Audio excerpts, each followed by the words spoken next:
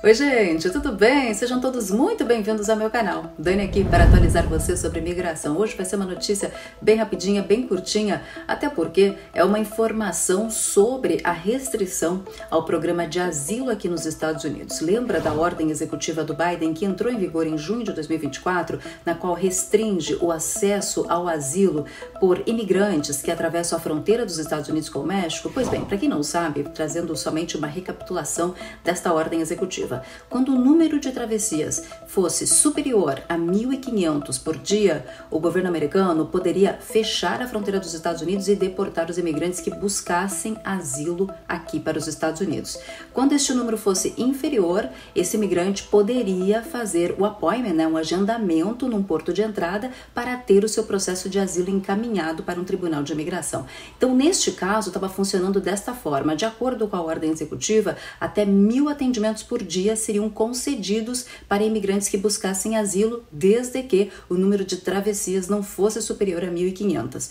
Acontece que essa ordem executiva foi justamente para tentar frear a imigração ilegal na fronteira dos Estados Unidos com o México, né? E até então ela seria de forma paliativa, ou seja, de uma forma curta, como uma forma de experimento. Mas, de acordo com fontes da Casa Branca, o governo Biden pretende continuar com a restrição ao programa de asilo na fronteira dos Estados Unidos com o México. E não só isso, eles querem aumentar o número de semanas sequentes com números baixos de travessias para que não haja o fechamento total da fronteira. Essa questão impacta quem? Kamala Harris, que é a candidata do Partido Democrata.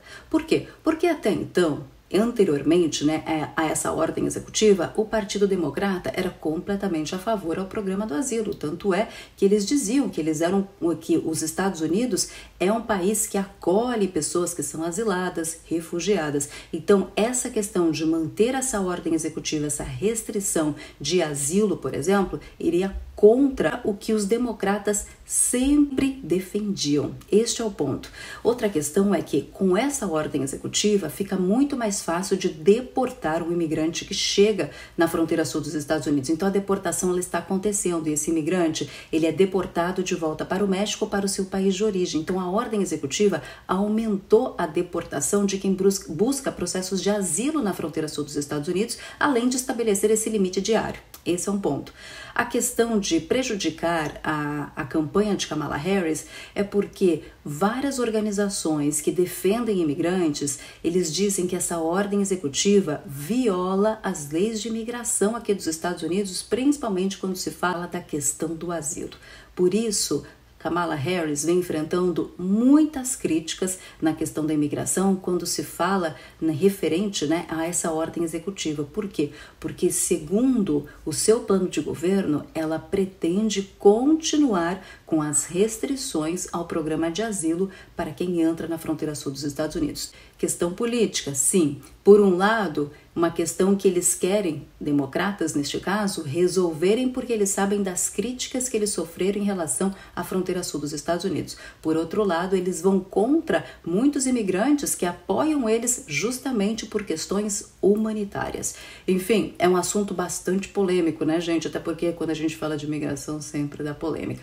Mas a questão do asilo tem dois pontos sensíveis. Primeiro, muitas pessoas que tentaram asilo na fronteira dos Estados Unidos após a ordem executiva do Biden e que tinham asilos justificáveis não foram ouvidos justamente porque o número tinha ultrapassado o limite diário, essas pessoas então eram deportadas de volta para o México. É isso que alega as organizações pró-imigrantes. Assim como tem muitas pessoas que não têm um caso de asilo e pedem também asilo na fronteira sul, tem muitos que pedem e esses que têm casos realmente justificáveis acabam pagando por essa questão desta ordem e acabam sendo deportados sem chances de ter um caso ouvido por um tribunal de imigração aqui nos Estados Unidos.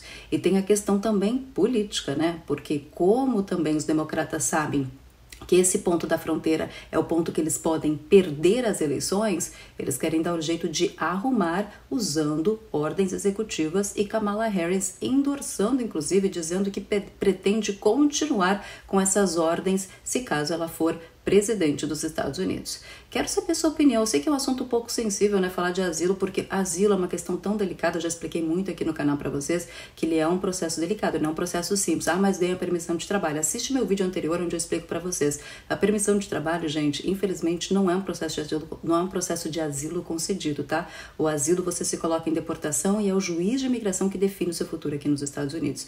Se ele achar que o seu caso não é um caso justificável, você entra em processo de deportação. Então, sim, é um processo super mega complexo e que tem um alto índice, inclusive, de negação. Então, tem que ter realmente um processo bem justificável para valer a pena entrar com o processo de asilo depois. Mas eu já expliquei isso num vídeo aqui no canal, um vídeo anterior. Se você puder, assiste o vídeo de ontem, que eu falo um pouquinho mais sobre essa questão do asilo também, para explicar para quem tem dúvidas ainda sobre o processo de forma geral, tá bom? Mas quero saber sua opinião. Você acredita que o governo está fazendo isso como uma forma de tentar ganhar as eleições contra Donald Trump, já que Trump está realmente criticando muito as fronteiras abertas pelo governo Biden? Quero saber sua opinião? Coloca aqui nos comentários. Se puder, deixa o like no vídeo também, porque deixando o like você ajuda demais a Dani, viu? Deixa o like, se puder, compartilha também o vídeo para que mais pessoas possam entender um pouquinho mais essa dinâmica envolvendo né, os processos de asilo aqui nos Estados Unidos. Se puder, me segue nas minhas redes sociais, tem muito conteúdo por lá também. Aqui tem meu Instagram pessoal e tem também o Instagram das Starts, viu? A Start América para processos imigratórios. Se você precisa de um processo imigratório, entre em contato com a gente. A Start Jobs para você que busca mercado de trabalho nos Estados Unidos e você é um profissional que quer trabalhar em alguma área específica, entre em contato com a gente na Start Jobs. Agora, se você busca vagas patrocinadas tanto com vistos de trabalho como Green Card por trabalho, entre no, no Job Board da Kickstart. Todos os dias no Job Board temos vagas patrocinadas com vistos de trabalho ou Green Card por trabalho, até mesmo CPT e OPT para quem está no visto de estudante e quer trabalhar legalmente nos Estados Unidos. Bom, gente, eu fico por aqui. Assim que tiver mais alguma outra informação, pode deixar que eu compartilhe com vocês aqui no canal. Um beijo grande e até a próxima. Tchau, tchau.